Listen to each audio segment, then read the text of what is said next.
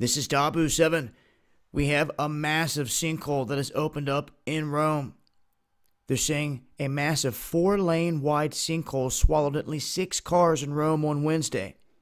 This has forced 20 different families to have to flee their homes.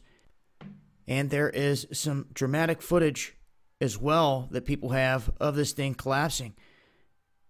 Now, they're saying that the incident happened in the Italian capital's Balduina neighborhood. They're saying no injuries were reported on this, but the police and fire brigade and others had come to the rescue of anyone that was potentially trapped in here. They're saying that a two that two residential buildings are safely evacuated. And as of right now, this is going to be one heck of a cleanup. Now, one of the residents returned home from the gym to find a gaping hole around 50 feet wide right outside their home.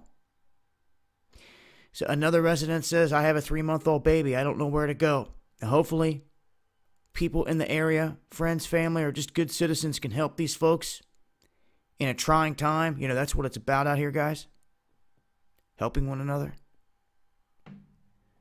Nonetheless, this is a massive sinkhole, massive one. I'm going to leave a link and I will continue to update as I get more details on this. This has been Dabu7. Much love, y'all.